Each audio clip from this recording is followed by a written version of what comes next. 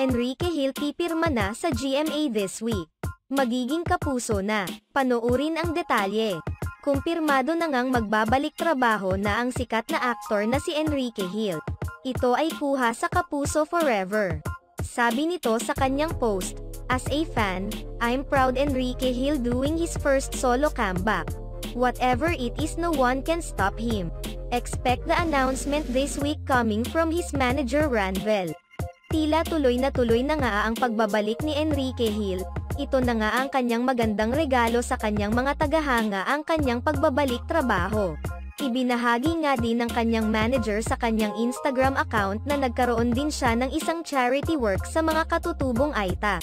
Nandirito naman ang tweet ng showbiz banter, Enrique's Hill comeback. Ranvel Rufino excites fans as he teases for Enrique's comeback super soon guys. Expect the announcement this week.